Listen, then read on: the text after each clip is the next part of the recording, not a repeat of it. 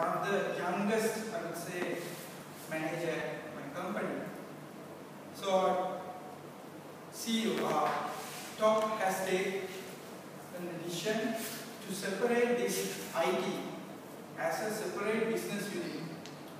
Separate because you know that when it comes to IT, it's very hard to justify the cost that we are investing. And it's a, basically a cost center. So they have taken a decision to separate it as a separate business unit with the aim of providing services to the internal corporate users. Right?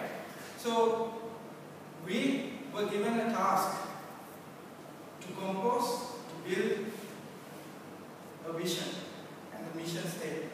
So I'm happy to say that I was actively participated and I was part of it. So you know that how have you covered that part?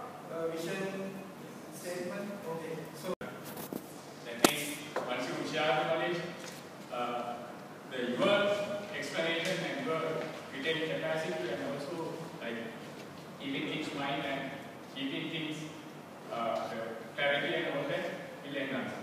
So rather than memorizing and all that. So taking that into mind, so like you were given the challenge, okay, you start now. We came for the class for just learn strategy management. So initially, so we were given the challenge by sir, okay, then okay, you teach, start teaching the subject.